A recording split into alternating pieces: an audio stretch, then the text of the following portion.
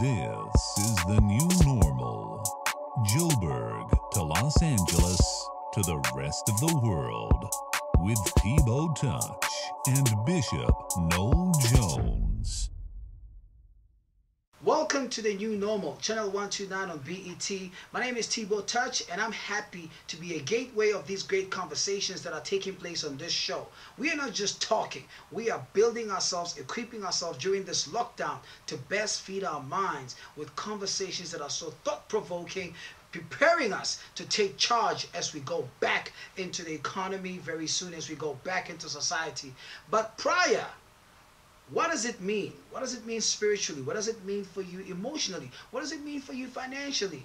We are all experiencing an economic meltdown, but we shall never experience a spiritual and a mental meltdown. That's why I have a guest in studio, and I call him a co-anchor, Bishop Noel Jones, joining me all the way from Los Angeles.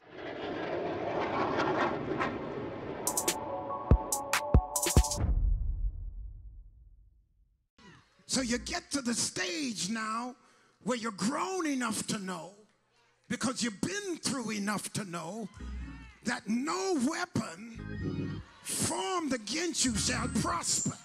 I didn't know that when I was a technon, but I know it as a huios, that no weapon formed against me shall prosper because I've come through weapon after weapon after weapon after weapon after weapon, and I'm still here.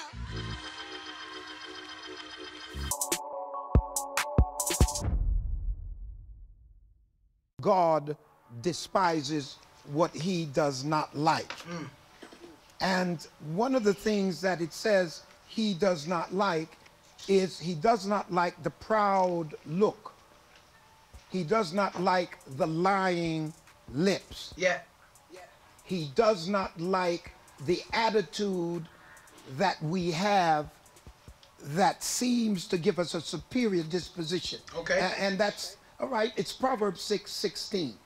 It says this These six things doth the Lord hate, yea, seven are an abomination unto him. Right.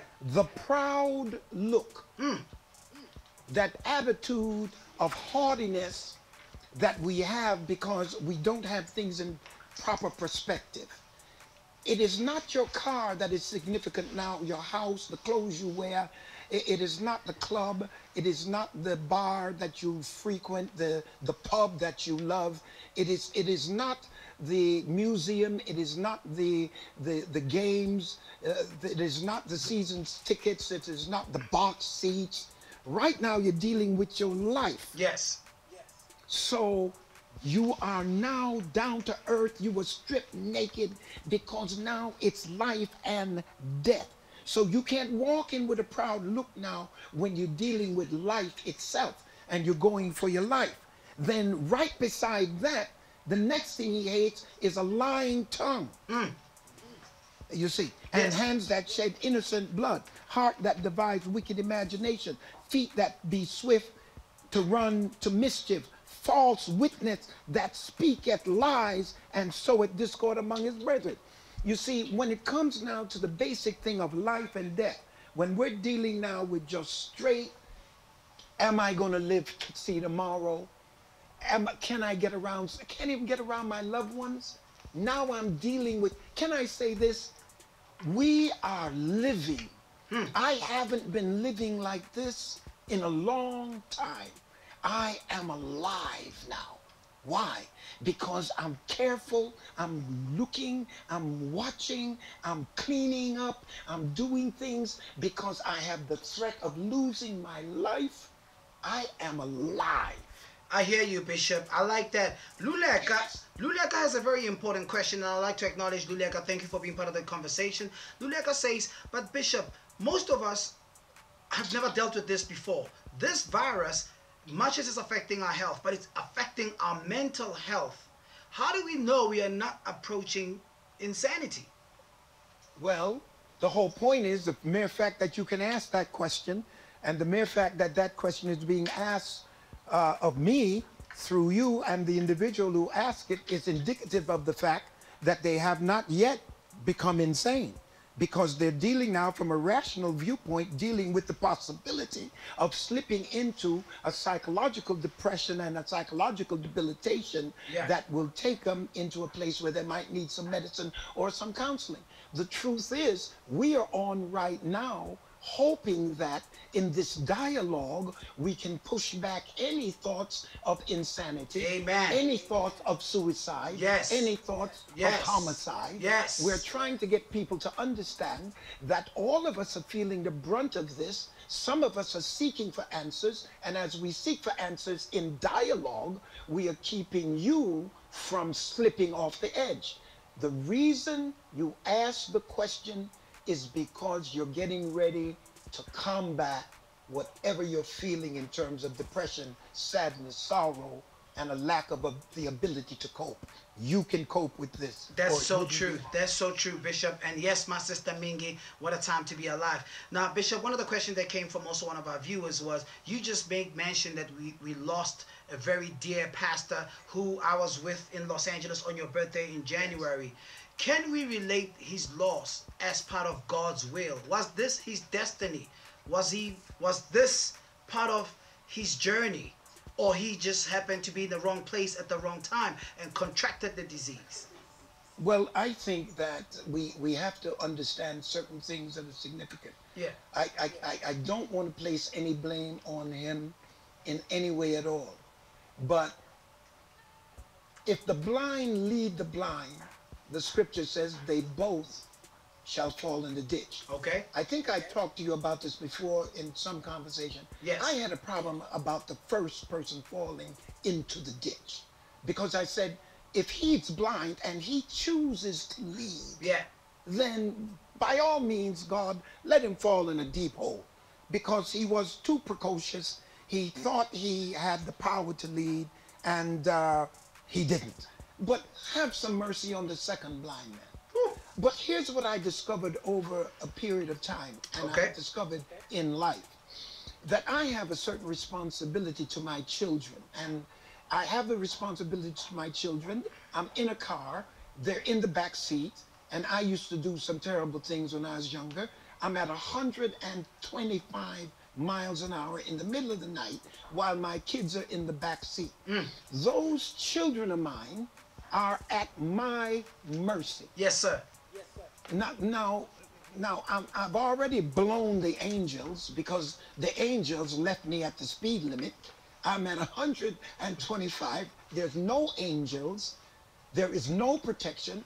I'm breaking the laws of the land, and I've got the kids in the back. Now, I reach back to slap one of them. I lose control of the car, and all of us die. We all died because I didn't handle my responsibility and they were a part of my care. Take it to another level and see my brother, who should be alive today, Yes. had the administration that runs the country gave us a signal that said, shut down now. Woo! Because they didn't shut us down. All right. Because they downplayed, they use their influence irresponsibly, and my brother has died. My God. Ooh. See, what we have to understand is for those of us who decide we want to be public figures, for those of us who want to be heads of government, for those of us who want to be preaching in pulpits, telling people how to live their lives, for those of us who want to dictate how our family, how our children operate, Yes. we ought to use our influence responsibly. Preach and it. we ought to operate for their benefit and not for our own. Preach it, Bishop. We just had an incident. That's incident. what got my brother killed. Bishop, we just had an incident uh, two days ago. Our Minister of Communication was uh, reprimanded by the president, actually being suspended for the next two months because she posted a picture having lunch with a former Deputy Minister of Education, uh, higher, higher Learning. And it was quite irresponsible, but the president was under the pressure to say, if anybody has to take my orders, it has to be those in my cabinet, those who are part of my Congress.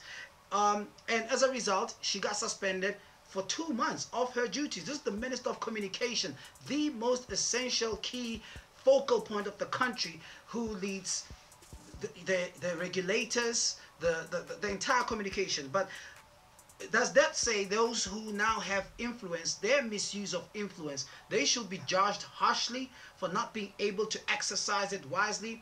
And those who are also in the point of being public figures, are we meant to be leading by example to such an extent that some of the decisions that we make might be inconvenient for our day-to-day life, but for the sake of an ordinary person down who's in Alexandra, Soweto, Kwalanga, for them to get the message, we should lead by example.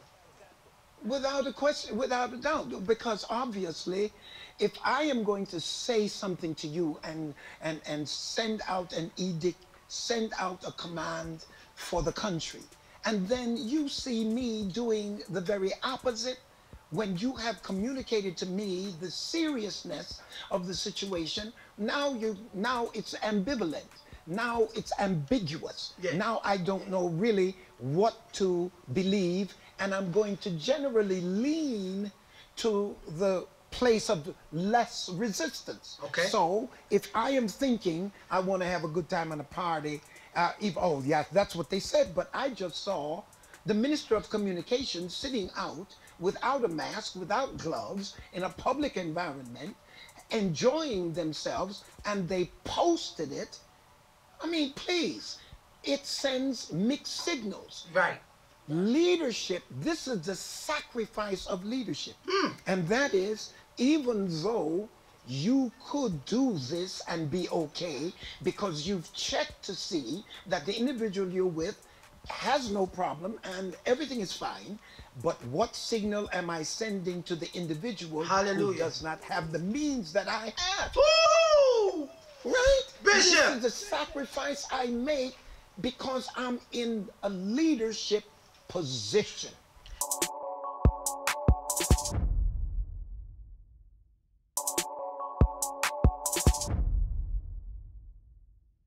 Because let's talk about preachers. People like I look at how everybody wants to become a preacher and have a big church and be idolized and be put in a pedestal. But now, do we let's do we literally consider the enormity of responsibility that goes with the need to lead people? Uh, uh, uh, and, and also even on social media, you got brands calling people uh, influencers. And hey, I've got a blue tick. Thank God I don't have. I don't need it. People got I got a blue tick on my social media. So all of a sudden I'm an influencer. But what does it say about you on social media when you're posting your breakfast, gourmet, you're posting your living, your environment, how you live? I'm quite sensitive. Not, I, I've tried my best not to actually post my lifestyle because somebody right now is trying to get access to proper running water, electricity. What does it say about social media and those who are in a position of influence, sharing with the rest of the world how they're living under this lockdown? Well, the, it's, it's quite significant and very important that if you're posting where you live and the level you live on, if you're posting your affluence and you're posting how significantly important you have become from a wealth point of view, if you're posting that, and if it is your intent to say to the rest of the world, I live on this level and I am about to help you to come as close to this level as you can get or beyond this level. I am just showing you where I am thinking about taking you Right. or where I'm praying for you to go. And I am going to come down into the grassroots and I am going to help bring you to where I am. Right. I'm going to show you how I get there. You see, one of the things about pastors and preachers who preach health, wealth, and prosperity Yes, sir. and preach uh, uh, Americanism and capitalism for the doctrine, for, for gospel. One of the things that they have to do is they have to show it. Okay? Because if I'm going to tell you this is what God is doing, then I have to show it. But what they won't tell you is that because you want it so bad, you are now being in their hands to manipulate you to give to them for them to keep living that lifestyle because they're not getting that lifestyle from corporate America. They're not getting that lifestyle from years of investment, from having a rich family. Yeah. They came up just as broke and poor as anybody God helped us to get on television. Television opened us up to the world. So now we can sell our books and our tapes. We can sell master classes. We can get money because we have influence around the world. Now we turn around and say we don't live off tithes and offerings anymore because our books and the things we sell and all the things we do, that helps us. Foolishness. I hear you. It was the poor person's money that put us in a position where we don't need their money now. Woo! But it was their money that put us in the position not to need their money, and we need to say thank you to them. We don't need to take our influence and show opulence. I said to one of my sons in the gospel, you don't need to show a Rolex watch. You don't need to show your car or your house. Right. Because that's not going to build somebody's faith in God. All it's going to do is point to you as a user, as a taker, as an individual who's putting nothing back, and it's going to send a bad signal. When we operate in truth, Yes, sir. and when we operate in sensitivity to others, Okay. we do not stuff our lifestyle down other people's throats when we realize that 75% of the world is going to bed in squalor, dirty water, bathing in nasty water by some river. And it is the reason why we have so much trouble in the world. It's Man. the rich against the poor because we want to stuff our lifestyle down somebody's throat and brag about what we have. And here's what God says Tonight thy soul Woo! is required of thee. My goodness. And that's what's happening now with this disease. So, so I wanna, I wanna ask, and, and maybe I should have asked you this personally. I was so garrulous, I don't even think I answered the question. You no, you did. You got it. I Okay. think the point is made. If you're in a point of influence and you are showcasing the affluency and how blessed you are, give people the roadmap of how you got there. Be have the ability Yeah. to come down, have the ability to come down to grassroots level and show how others can there. come up. I love it. Now I want to move to another question here, and uh, this is one of the questions that's coming from our fellow followers, who's part of the dialogue right now, to say 70% of African, I mean, when you look at the statistics, this virus, at the inception of how you know it, came about, we were making jokes that black people don't get corona. There are some influential people who have been in the media saying um, this is not for blacks; it's gonna hit white people. Now, 70% of these fatalities are African Americans. Are we were we irresponsible at that time to make that assumption, which I know we were. But if 70% are African American, does this got to do with the inequality of wealth in the United States that preaches to be the land of the free? Well, let me let me let me outline what's going on with that. Yes, sir. First of all, you don't have as as African Americans and Hispanics as that part of the population that is not as wealthy as my uh, Caucasian brothers and other parts of our social environment in Yes. America. You will find that healthcare is lacking. True.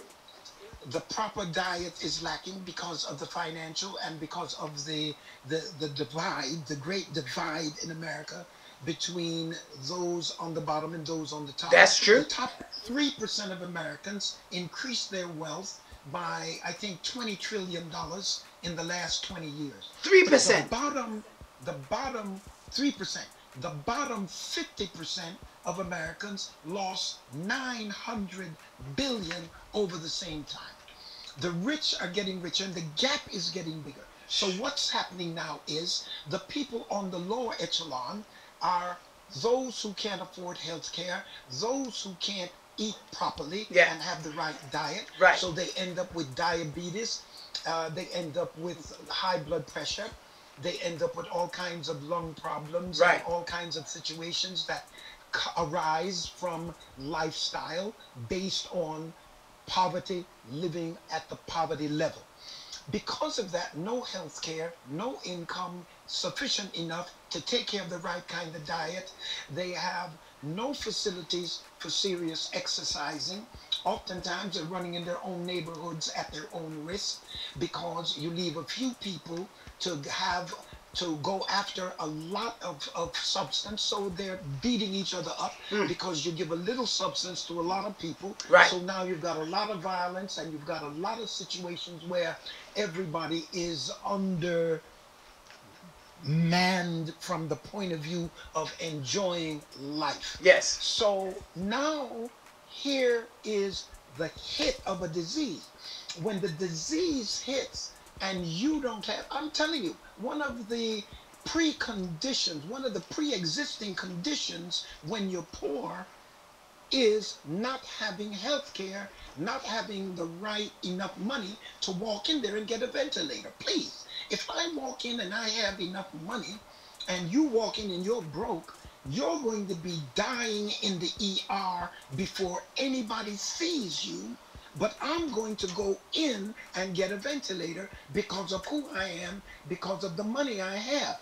This is killing poor people because they don't have the things that normal people should have My to God. have an existence. My God. That's why Obama, in his sensitivity, he did two things. One is he understood that pandemics happen. I'll get a team out there. That's correct. I'll get a team so wherever it happens in the world, we'll aggressively attack it. Right. If I get it in Africa, I'll help the Africans, but I'll keep it from coming to our shores. If it happens in Asia, I'll help the Asians keep it from coming to our shores. Then he turned around and had health care for everybody. If you got health care for everybody, if everybody in your country can go in and have health care, then you will have a system that is broad enough to handle a pandemic like this without it being total collapse Yeah. without having total collapse. Why? Because the healthcare system is for the privileged. So now you got the masses coming.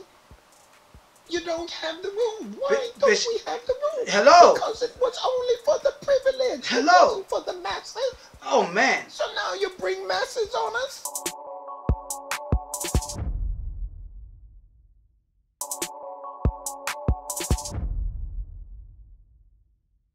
Case closed. Check mate. I don't think there's any. Listen, end of discussion. Bishop, we want to move to the second part that we, got to close correct, and, and I think we left it uh, slightly open. Gluttony is a sin. I know we emphasize indulging with alcohol and stuff. The, the, the sin gluttony because how in the world you have people, you have people walking around you know, uh, overweight, and and some people say it's medical, but some, I, I generally think, especially with black communities, and here's a sad um, distortion. When you lose weight and you are, you, when, when someone is, is, is, is, is cutting and is lean, the people will say, black people will say, man, you're not eating right. Are you okay? You're looking frail. And we associate wealth with looking big. I, I, I, I, I, I, I, I I'm, I'm, I'm quite it's it's it saddens me when people associate a big belly with doing well. Oh man, life is good. You you looking great, man. And as soon as you're looking tailored and and and lean, you're not well. This is a problem. It's a serious problem, and I'm telling you, I'm, I'm telling you that we we we have been slaves. You've been in apartheid. We have been slaves uh, for so long, and the, the vestiges still are upon us. We still have the mentality in terms of our eating. The slave did not get the the the the, the, the, the decent cut of the beef. The slave did not get the, the decent cut of the pig. The slave had what was left over after the master handled his business. The slave got the lesser parts. Now, generationally, this has continued. It has continued from generation to generation to generation until now it is embedded in our DNA so deeply psychologically that it's hard for us to break from the habits of our forefathers and on and on and on. We are cursed generationally by the way we eat. Then add to that the poverty that we have to endure. Add to that the minimal amount of health care and the education that we lacked in terms of our diet and exercise and the way to prolong and to strengthen our lives. So at the end of the day, we have people who are eating excessively. It ain't all thyroid. It's I, I, I eat when I'm nervous. I eat because it's my enjoyment, and particularly when you're a child of God and, and you ain't smoking a joint and you ain't sipping on on some uh, a Grey Goose. Uh, the goose is gray and the uh, and the turkey is wild, and uh, you're not sipping on any wine. So consequently, your only pleasure, you, you can't run around with no with any sex and, and you're not married, and, and, and the only pleasure you have is your food. So now, because food is my pleasure, yes. I'm now yes. eating for pleasure. I'm not eating to sustain my life and operate and do what I need to do. Okay. But I'm eating for pleasure. Now, when you're in a position of responsibility, yes, and, and like when you're in my position, where where people around the world are, are looking to me, you're looking to me to be on my best intellectually, cognitively, creatively. You're looking for me to be on my best studying because you're looking because I have a responsibility. So I can't come in, I can't walk around drunk. I can't walk around out of my mind because of alcohol. But at the same time, I can't walk around out of my mind drunk from excessive eating, and I'm eating so much until I come into the room, I'm half asleep. I can't think right. I can't operate right. I have to operate in temperance. So I'm saying to everybody out there who somebody else is depending on you, you can't walk around popping five or six different pills because you got high blood pressure. And, and if, you, if you're taking pills, if you're taking pills for high blood pressure, it is to get you to the place where you can get off these pills. Because these high blood pressure pills are killing your kidneys, yes. they're tearing up your liver, yes. and at the end of the day, the side effect is going to destroy you.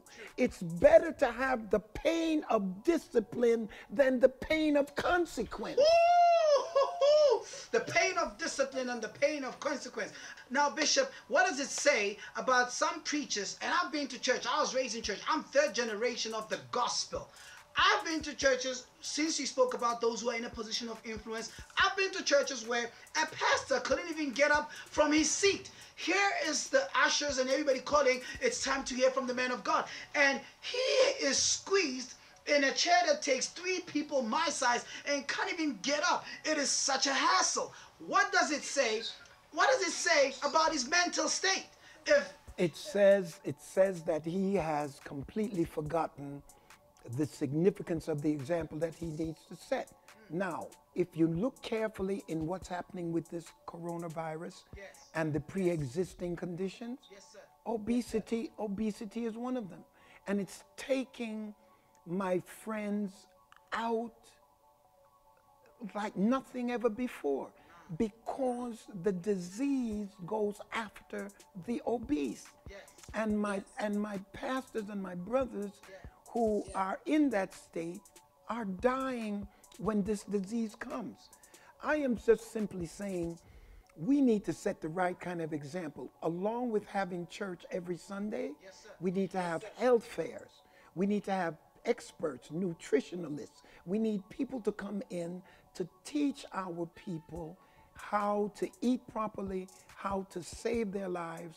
And when you have something to give to someone else, and when we're depending on you, make the sacrifice Amen. and stay healthy. Amen. Please. I, I, was, I was, I was, I want to say this, and I never got a chance to tell you. I was quite marveled, and I really appreciate what you did. When I went to City of Refuge, uh, I went to the back where you used to have the tape ministry, and I realized you opened a school in church, and this this was incredible. I realized that you're expanding the school. You're taking people into the church. It's no longer just a place for you to just fellowship, but it's also becoming a center of information, education from early childhood learning. should we have? uh, Don't you think, Bishop? This is a high time where churches should also have medical, financial, uh, weight programs to ensure that the same congregants are mentally as spiritually healthy, but also mentally and physically healthy as well. And to get away from this just being a Bible study place and Sunday church service, shouldn't we lead by example? Those who are in a position to hear from above and be having all this wisdom, start transforming the actual. Uh, what the actual building is and transform it to being a center of solution in society. And that and and you couldn't have said it better. And that's where we are right now. Yes. After this abnormal is over and we move into the new normal, Right. the church that will thrive and the church that is going to be alive Yes, sir. is going to be a church that has its community at heart and presents a holistic presentation of the Christ event. Here is what we have to do. Right now, we are focusing only on my kingdom is not of this world. I have a relationship with the, you, the, with the Unification Church, with some great people on that side, and they focus primarily on thy will be done on earth as it is in heaven. What has to happen now is we have to put a bridge in. Uh, I mean, people decry uh, uh, Dr. Hak Ja Han Moon uh, and they say it's a cult and they can say what they choose. At the end of the day, they are dealing with issues that are very pertinent to those of us who are apostolic, those of us who understand the name of Jesus in baptism, receiving the Holy Spirit, speaking in tongues. We understand that very well and we live by that. But that prepares us for heaven. That prepares us for that new birth experience, that relationship with God that begins here. But the relationship with God also says to us, you got to feed those who are hungry, clothe those who are naked, visit those who are in prison. You got to do some things on earth. We got to educate our kids. We have them, they won't even come to our churches now. We have to educate our kids. We have to give them the tools. My granddaughter is choosing now between Harvard and Yale. Now, what kind of difficult? Now, her difficulty is which one do I go to? You follow? They got to be educated.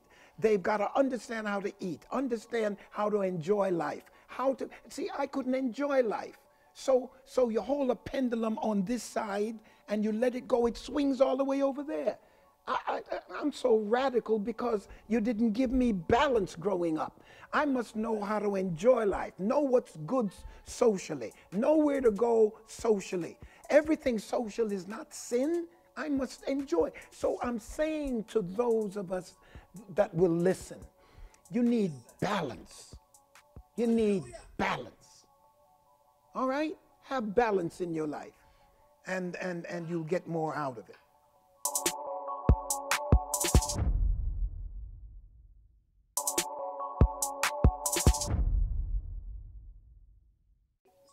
If you're going to, if you're going if if any church is going to be impacting after this abnormal the new normal will be more insightful and more sensitive people.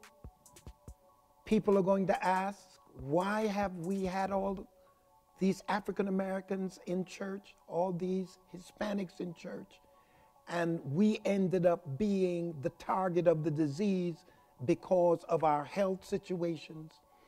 Why is it that you, in projecting Jesus Christ for our future after death, why didn't you help us to understand how to live while we are here so that when a pandemic comes, we are not the target of the pandemic? We are not the ones who fall first. Why haven't you brought us to the place of education so that we can be a part of the solution instead of always being a part of the problem? Why haven't you brought our kids to a higher level? Why haven't you demanded them to reach a greater level through education, through Christian education? Why haven't you helped us to gain a political strength. Where is our bank? Where are our credit unions? Why do we have to go across the street for everything we want when we're giving you all of our money all the time? Bishop. Ooh. You've closed it. Ah, we're gonna have to that that unto him who much is given, to our leaders, not just in church, including those in political positions. I think this conversation is calling upon us to reflect, be true to the calling, and become better people in order for us to conquer this COVID 19. Bishop has been a blessing. I am so grateful. Um, I have no words. You've just, again, you did it again tonight. Um, to everybody who's part of the conversation, you'll agree. We couldn't ask for more. And we want to say thank you. And at some point, I would like to see this happening in Johannesburg. I think number one trip. I know you're always out in South Korea and other parts. We need this leadership conference from Bishop Noel Jones. And if you agree with me, send me your comment right now on Instagram. Follow Bishop Noel Jones Global on Instagram and I am Tbo Touch. Bless your heart, man. Let me just get off the conversation. How has this lockdown made you a meaner, meaner, meaner chess player? Oh, Noel, uh, I've got to play again. I, I, tell you, I've got to play uh, one of my sons, uh, Passion Java, uh, because he beat me the last time. One game I beat him, but uh, he mastered me. So I've got to get into that. Uh, I haven't been able to study it as I should because I've been working so hard on so many different programs. And yes. uh, right now, I'm dealing with a doctor who, a, a, black African American doctor, who says he's got his hand on this virus.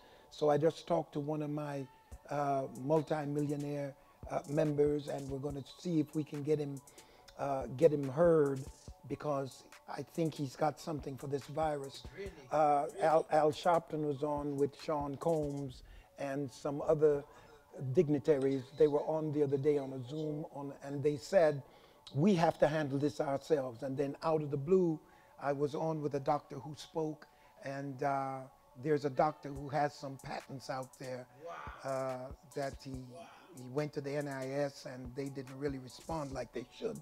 Wow. But I want to get him heard. So that's where we are now. And if we can do that, then I asked him, I said, if you had the money today, when could you start serving and and and uh, medically? Yes. He said Monday. Yes. He said Monday. Really? Really? So I want to have him heard. Bishop, we'll see where we go. What are we talking about numbers? What kind of numbers are we talking about?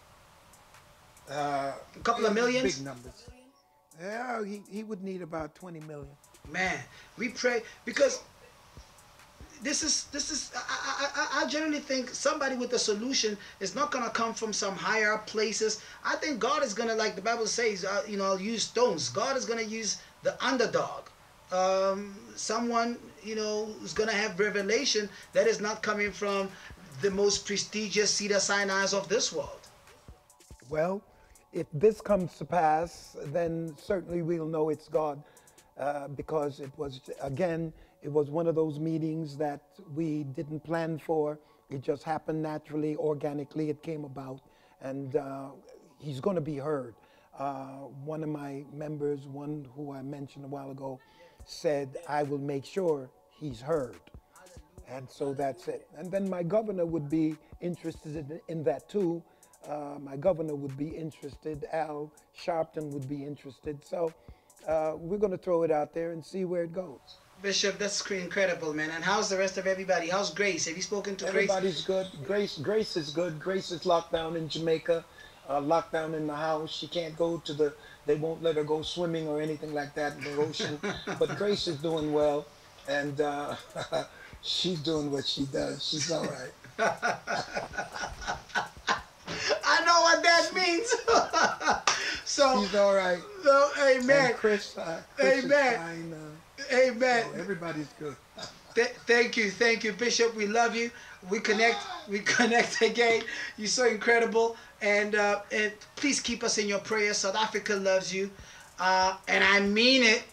Unlike people who said Africa loves you, no, South Africa loves you genuinely, Bishop and the whole continent. And I was I was to be there, you know, I was to be uh, today I was to be, you know, with uh, in, in Sandton with the AOG in Sandton. Right. I was to be there today, but because of this, we were not able to come and not able to be there. But as soon as this thing clears, Yes. I will be back in Sandton and all over the place with the professor again. Yes. Uh, uh, professor was such a marvelous person. What's his last name again? I don't want to ruin it. Nevutanda. Navutanda. And, uh, I, and I shout out to him. I shout out to the governor. I shout out to the mayor. Yes. I shout out to the financial person that I met. Yes. I shout out to all of the wonderful peoples at Grace International. National. That's correct. That's correct. That's it. Love you, Bishop. Love you. God And bless. AOG, I shout out to you. Yes, sir. Man, what an Right. honor. What an honor. Ladies God and you, gentlemen, man. this is this for those who didn't get the um, um, the full entire hour. You're gonna get this special on BET. But great news are coming your way. Uh, we'll be airing this Friday between 5 and 6 p.m. So stay tuned, stick around.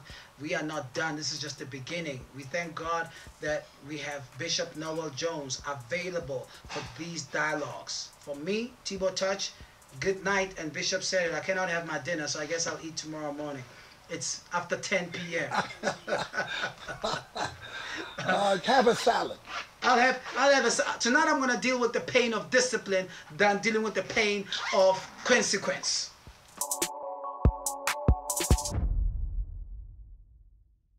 We've got to that point, ladies and gentlemen, where we are not saying it's over. We're just putting it on pause. We'll be back again next Sunday between 5 and 6 p.m. My name is Tbo Touch. I want to thank Bishop Jones. I want to thank all my friends. I want to thank Juan. I want to thank uh, Katrina. I want to thank all. I, I, I wish I could drop all the handles. Shout out to Malusi. Shout out to Sipeng. Shout out to everybody. I see you. Tabo Molotani. God bless you. We back on channel 129. This is BET Africa. Follow the handle on Instagram and Twitter. Next Sunday, we have a special topic that's going to change the way you view your space and how you project yourself in society. This is the new normal every Sunday between 5 and 6 p.m. The devil is a liar. These dialogues are going to make us better people. We are going to come out better after COVID 19. Trust me. Follow the hashtag. Um, it's uh, the new normal, or you can hit me live and direct at INTV Touch on Twitter and Instagram. Thanks to all the essential workers. It shouldn't take this pandemic to regard your significance. You are essential post COVID 19. That nurse on her way to work right now for night shift, you are essential. That driver who's delivering my vegetables, you are essential. Security guards, law enforcement, soldiers, you're essential. My friends on this show right now, you are all essential. God bless. Let's wear our mask and gloves. I'm about to do that right now as I leave here, right here. I got my mask. I'm not playing. It is real. We'll be connecting next Sunday between 5 and 7 p.m. And if you do love the show, keep following us on our social handles. We'll be giving you more and more and more. The new normal. This is Tbo Touch, and I'm glad to be back again next Sunday. God bless.